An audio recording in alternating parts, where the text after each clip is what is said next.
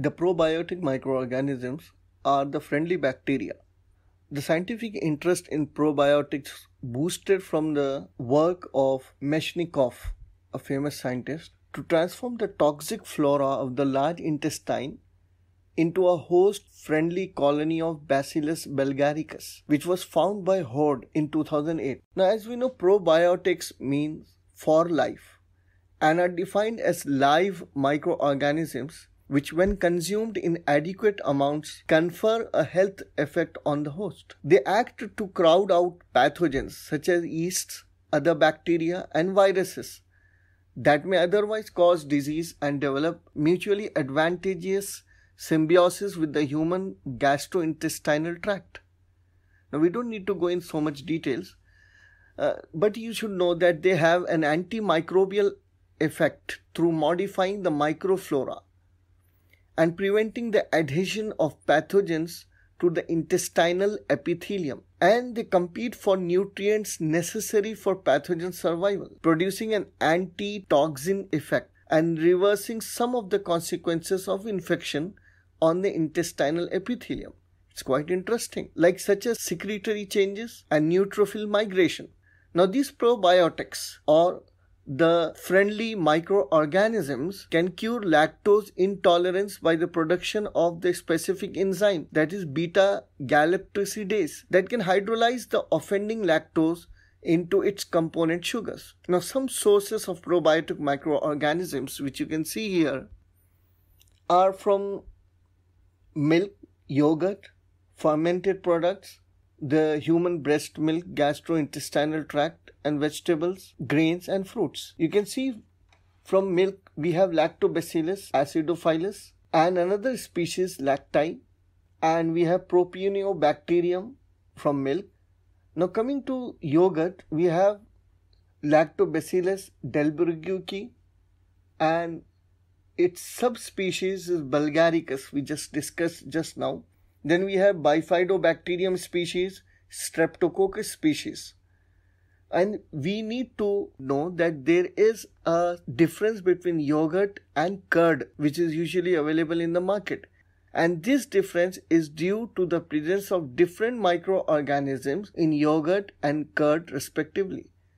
Now coming to the other fermented products they give lactobacillus casei and lactobacillus cellobiosus and other species of lactobacillus. And again we have bifidobacterium species from the fermented products. And we have enterococcus faecium then we can see here the gastrointestinal tract that is the lactobacillus species gasseri and johnsonii and escherichia coli can be isolated from the gastrointestinal tract. And these can be served as important nutraceuticals now let us move on ahead and see what are the different nutraceutical enzymes. As you know, enzymes are an essential part of life, without which our bodies would cease to function. Those people who are suffering from medical conditions such as hypoglycemia, blood sugar disorders, digestive problems, and obesity eliminate the symptoms by enzyme supplements to their diet. Now, these enzymes can be derived from the microbial sources and the plant sources and the animal sources. And here you can see the different examples. The enzymes from the microbial sources are such as hemicellulase, catalase, amyloglucosidase, glucoamylase, cellulase, invertase sucrase, and lactase beta galactosidase. In the plant enzymes, we have hemicellulase again, which is present in the plant walls. Then we have pectinase from the cell wall and alpha galactosidase, glucoamylase, bromelain from pineapple, and biodiestase from soybean. And we have beta amylase from the higher plants. Coming to the animal sources of nutraceutical enzymes is ox bile and pancreolipase from the pancreatic juice. And we have trypsin again from the pancreatic juice.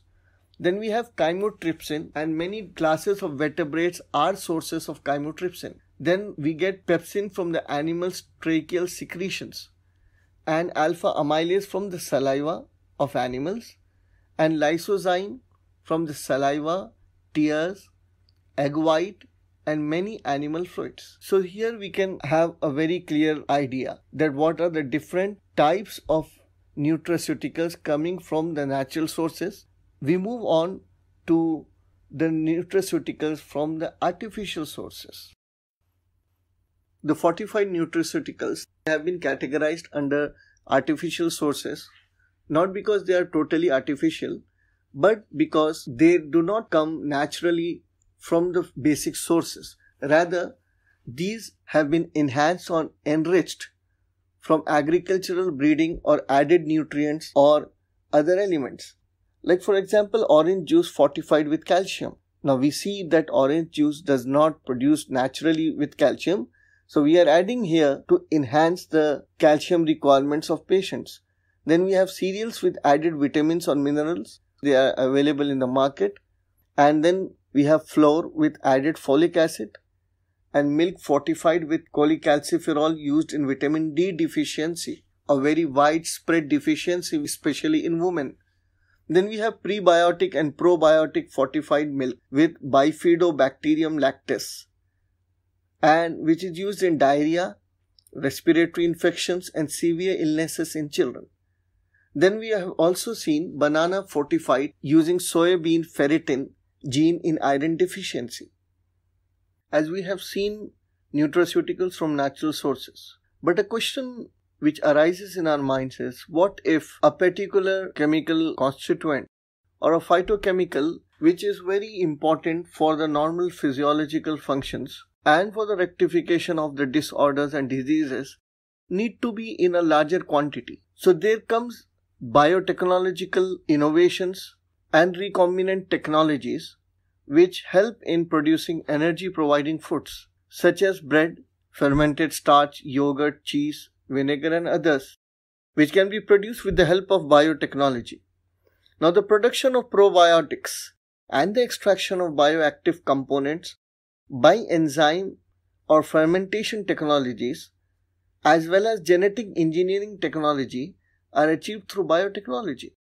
Here we can see some examples where recombinant nutraceuticals can be obtained from recombinant plants or recombinant microorganisms. A few examples I have cited here, such as maize, golden mustard, golden rice, iron rice, golden kiwi fruit, tomato. What do these recombinant plants do? They help in treating the deficiencies, the lacuna, such as, for example, vitamin A, iron, and folate. And folate, as we know, is a naturally occurring form of vitamin B9. And it is needed to make red and white blood cells in the bone marrow. It also helps in converting carbohydrate into energy. And it produces DNA and RNA. An adequate folate intake is extremely important during periods of rapid growth such as pregnancy, infancy, and adolescence. So here how does it work? Let's have a very brief outlook. We can see here in the case of maize, golden rice, this is generation of or production of transgenic maize with enhanced provitamin A content. And how is it achieved? How is it obtained? So the overexpression of the bacterial genes, like we are designating here CRTB, that is for phytoene synthase, and CRTI for the four desaturation steps of the carotenoid pathway. The provitamin A carotenoids, such as beta carotene, they are derived from plant foods and are a major source of vitamin A. So these bacterial genes they catalyze the pathways for the more larger production of these carotenoids. Thereby, we can see there is a resultant increase of total carotenoids of up to 34 fold with a preferential accumulation of beta carotene in the maize endosperm. Now, it is quite fascinating. In the same way, golden rice is also produced using the overexpression of these bacterial genes and as a result conquering the deficiency of vitamin A which affects over 250 million people worldwide and is one of the most prevalent nutritional deficiencies in the developing countries and which results in significant socio-economic losses. So, this is how we are producing recombinant nutraceuticals, and there are many more examples we will see in the future. Similarly, we have recombinant microorganisms, which play a very important role in the production of nutraceuticals, such as the E. coli and the Spirulina pacifica, Fusarium venenatum, and Acetobacter xylinum. Then we have Aspergillus oryzae and Saccharomyces cerevisiae. Now, these are the different microorganisms and subsequently we get enzymes from these microorganisms and the products which can be made possible for fulfilling the lacuna and the gaps of the basic requirements in the diet such as milk coagulated products increased hemoglobin increased bran solubilization then we have the kombucha beverage alcoholic beverage and resveratrol these are some important nutraceuticals which could be made possible due to recombinant biotechnology.